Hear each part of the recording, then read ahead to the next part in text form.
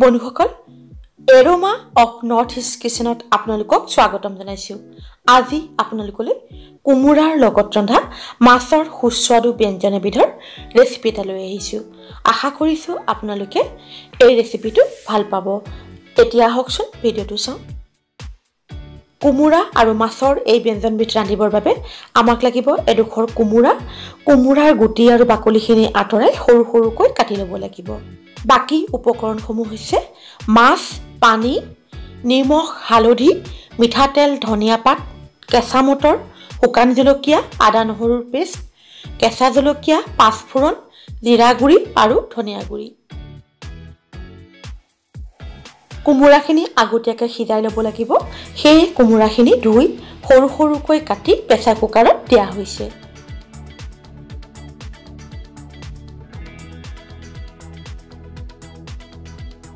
এতিয়া প্ৰয়োজনমতে পানী আৰু নিমখ দি প্ৰেছাৰ কুকাৰৰ ঢাকোনখন লগাই প্ৰেছাৰ কুকাৰটো জুইৰ ওপৰত দিব লাগিব।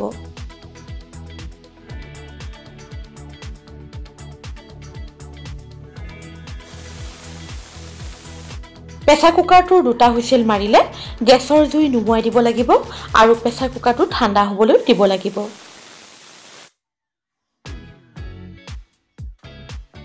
প্ৰেছাৰ কুকাৰটো ঠাণ্ডা হোৱাৰ পিছত প্ৰেছাৰ কুকাৰটো খুলি চোৱা হৈছে আৰু কোমোৰাখিনি বৰ ধুনীয়াকৈ সিজি গৈছে।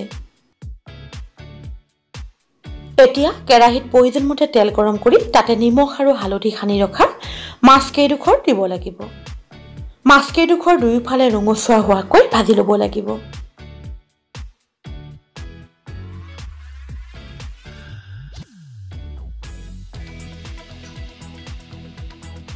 মাছকেইডোখৰ ভজা হৈ গৈছে এতিয়া প্লেট এখনত মাছকেইডোখৰ নমাই থ'ব লাগিব।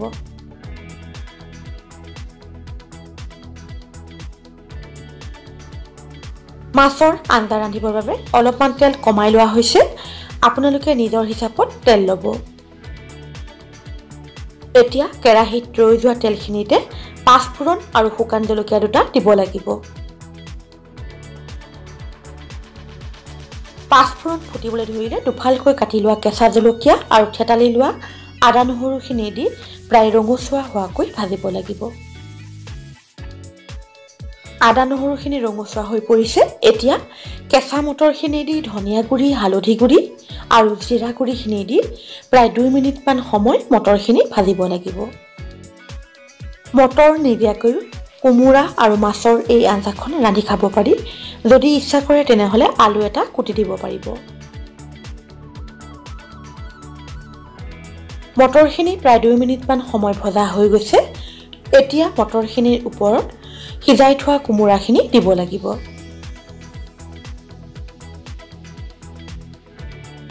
এতিয়া কোমোৰাখিনি মটৰ আৰু মছলাখিনিৰ লগত মিলি যোৱাকৈ ভালদৰে লৰাই দিব লাগিব।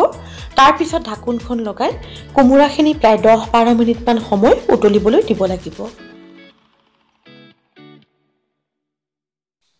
আঞ্জাখন যদি পনীয়া কৰিব বিচাৰে তেনেহ'লে ইয়াত আৰু অলপমান গৰম পানী যোগ কৰিব পাৰিব। কোমোৰাখিনি প্ৰায় বাৰ মিনিটমান সময় উতলোৱা হৈ গৈছে। এতিয়া ভাজি থোৱা মাছখিনি কোমোৰাখিনিৰ ওপৰত দি ঢাকোনখন লগাই অলপ সময়ৰ বাবে উতলিবলৈ দিব লাগিব।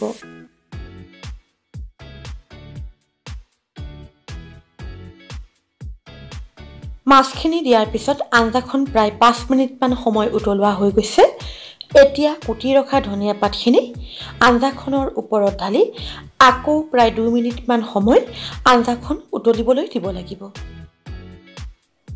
কোমোৰাৰে ৰন্ধা মাছৰ এই আঞ্জাখনত কোমোৰাকেইডোখৰ খাবলৈ বৰ সোৱাদ হয়। আপোনালোকে কেতিয়াবা এনেদৰে ৰান্ধি ইয়াৰ জুতি লৈ চাবচোন। কোমোৰাৰ লগত ৰন্ধা মাছৰ আঞ্জা প্ৰস্তুত হৈ গৈছে। এতিয়া গেছৰ জুই নুমুৱাই দিব লাগিব। এতিয়া গৰম ভাতৰ লগত কোমোৰাৰে ৰন্ধা মাছৰ আঞ্জাৰ জুতি ল'ব পাৰিব।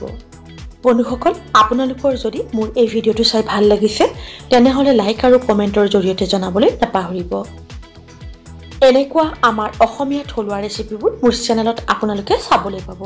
আপোনালোকে যদি মোৰ channel aroma of north east কিচেনক এতিয়াও ছাবস্ক্ৰাইব কৰা নাই অনুগ্ৰহ কৰি ছাবস্ক্ৰাইব কৰিবচোন আৰু লগতে কাষত থকা বেল টিপি দিব। তেতিয়া মই পষ্ট কৰা প্ৰতিটো ৰেচিপিৰ ভিডিঅ'বোৰৰ নটিফিকেশ্যন আপোনালোকে লগে লগে পাই যাব। নতুন ভিডিঅ' এটালৈ আকৌ আপোনালোকৰ ওচৰলৈ আহি আছোঁ। আজিলৈ আহোঁ ধন্যবাদ।